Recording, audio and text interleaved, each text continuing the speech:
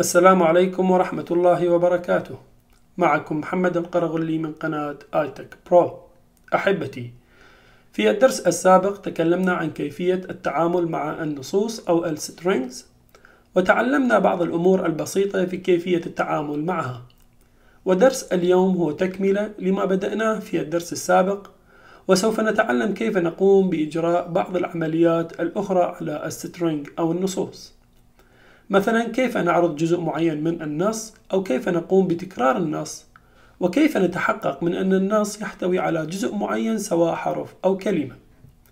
كما تلاحظون أحبتي لدينا متغيرين. String 1 وقيمته Cisco router و string 2 وقيمته iOS 7200 كما تعلمون أحبتي أن كل string يتكون من مجموعة من الحروف وكل حرف من هذه الحروف له index معين. وعملية ال index في Python وفي جميع اللغات الأخرى تبدأ من zero أي أن حرف ال C ال index الخاص به هو zero وال I هو 1 وال S 2 وهكذا.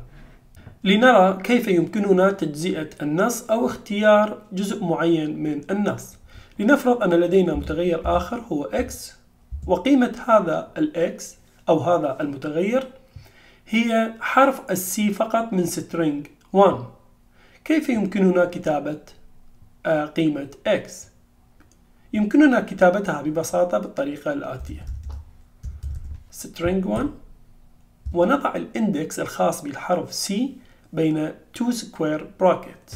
وال index كما قلنا هو 0 لنقم بطباعة x ونرى ماذا سوف يحصل. كما تلاحظون أحبتي لقد حصلنا على حرف C فقط.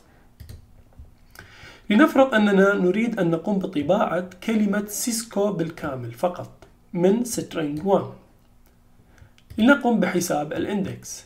0 1 2 3 4 أي أننا سوف نقوم بطباعة الأحرف الخمسة الأولى. يمكننا كتابة المتغير x بالصيغة الآتية. 0 إلى 5 لنقم الآن بطباعة x. كما تلاحظون أحبتي حصلنا على Cisco فقط. وكذلك أيضا يمكننا تكرار النص بالطريقة الآتية. لنفرض أننا نريد أن نقوم بتكرار النص ثلاث مرات. أي أننا 3 multiply string 1 كما تلاحظون أحبتي قام بتكرار النص الأول أو string 1 ثلاث مرات.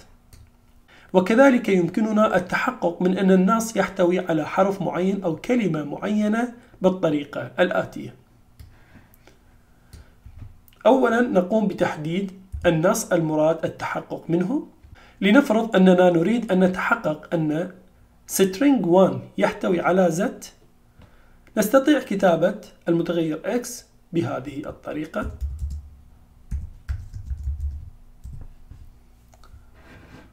ثم نقوم بتشغيل البرنامج.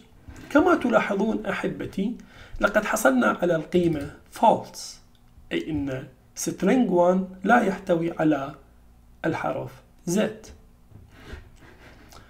لنرى هل string 1 يحتوي على كلمة سيسكو ثم نقوم بتشغيل البرنامج.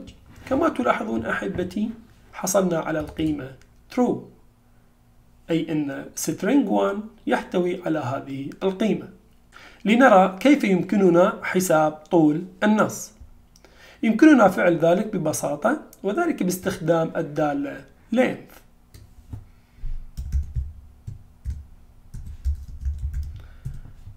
ثم نضع المتغير ثم نقوم بطباعة المتغير x ثم نقوم بتشغيل البرنامج.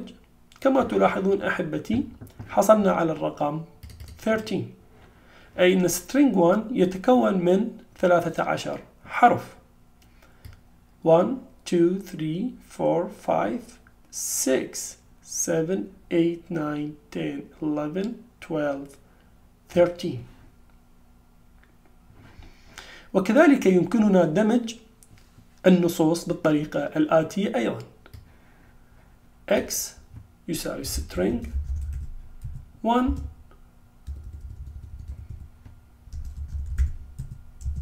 plus string 2 كما تلاحظون أحبتي لقد قمنا بدمج النصوص ببساطة كما في هذا المثال.